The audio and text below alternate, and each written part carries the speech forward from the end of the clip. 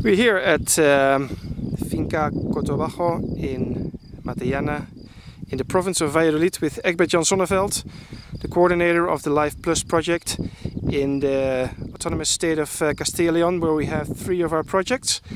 And uh, Egbert, please explain what we are seeing here. It seems a water box full of water.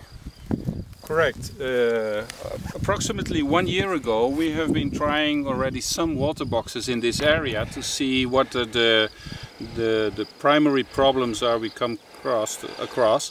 And uh, the plants that we have planted, this is an, uh, an Quercus ilex, and that has that is one of the autochthonous plants in this region.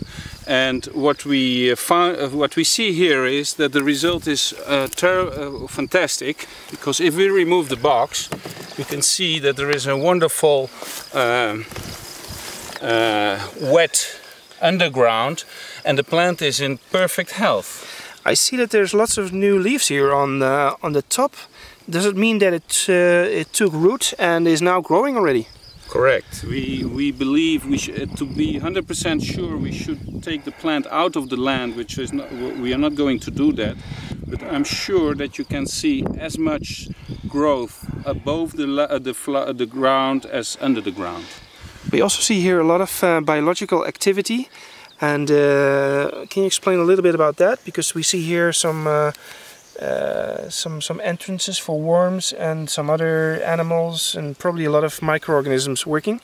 That is exactly what we want to create with the water box that the that the ground under the water box and surrounding the plant and the roots uh, is is uh, conti continuously humid and where the bacterial bacteriology of the of the of the ground is is improving.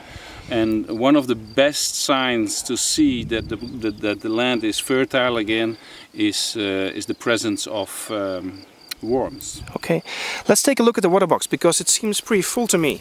Yes. And uh, um, it seems that this was planted in June last year, has been a very dry summer, but still it's completely filled up with water. Yes, we can easily say that uh, due to the rainfall in this area, which is not much, but more than enough as you can see to fill the water box and we have always seen it uh, at uh, this full. So the water in this box has been drip irrigating the plant and never was uh, missing. Some of this uh, organic material that you see here, is this an impediment for the growth or, or does it, uh, is it just nature at work? I would say it's not an, an, uh, a problem because, as I repeat, we have seen the box continuously uh, full, uh, even if there was some organic material here growing on top and inside the tubes. Okay, so um, basically, would you say that we could now uh, theoretically remove the water box and just let this plant, this Quercus ilex, grow by itself?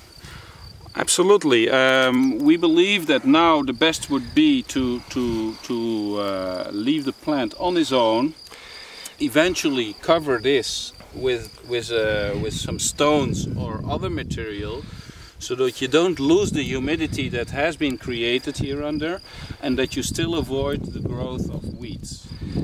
Thanks so much. This is a very promising material for the real life project that's currently on the way and uh, we definitely hope and are convinced that we will repeat these uh, these experiments with the same results.